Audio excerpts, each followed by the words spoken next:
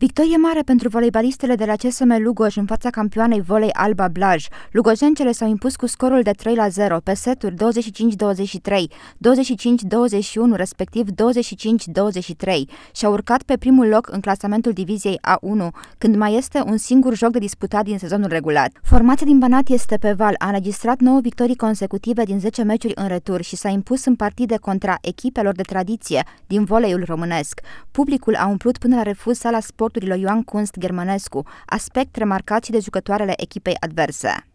Din punctul meu de vedere, aici am, au fost la ele acasă, au avut galerie, au, și noi am avut galerie, doar că au fost peste noi și au avut mai multe dorințe și s-a văzut. Ce crezi că a avut Lugojul în plus, în afară de public despre care spuneai, pentru a câștiga acest joc? Dorință, zic eu. N-am fost pe dorința astăzi și nu știu ce s-a întâmplat. Am pornit de acasă foarte încrezătoare. Așa a fost. De partea cealaltă, jucătoarele gazdelor au declarat că spiritul de echipă și galeria extraordinară au purtat Lugojul spre victorie. Mă bucur foarte mult că am revenit în echipă și în primul rând am câștigat.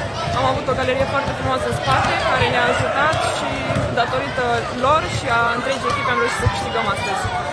Cum a fost meciul? Cum l-ai simțit? Toate seturile au fost extrem de strânse. A fost un meci foarte tensionat, cu multă presiune, dar împreună am reușit, ne-am unit și ne-am ajutat unele pe altele și am reușit să câștigăm. A fost un meci uimitor pe care a ieșit uh, absolut uh, tot. Uh, ne-am dorit foarte mult, ne-am dorit să urcăm pe primul loc și vrem să ne menținem și să terminăm acolo. În meciul cu Blaj am folosit o nouă formulă de echipă, iată, dar o formulă care și aceasta s-a dovedit a fi câștigătoare. Cum ați schimb, simțit această schimbare acum cu apariția Ioanei pe centru? Cred că asul nostru din mâine că sezonul acesta a fost fix asta, faptul că ne schimbăm de la meci la meci, niciodată nu se știe. Antrenorul CSM-ului a precizat că se aștepta la un meci în 5 seturi, iar victoria cu 3 la 0 a fost o surpriză pentru toată lumea. Nu vreau ce să zic, sunt și eu foarte emoționat și chiar nimeni nu a așteptat la un meci 3-0, se câștige sau Blajul sau noi, toată lumea a fost pregătită pentru 5 seturi.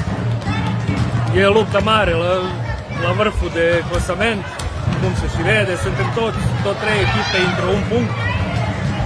Uh, eu vreau să felicit echipa noastră care pentru mine sunt adevărate heroine. CSM Lugoj va disputa ultima etapă în deplasare la voluntari.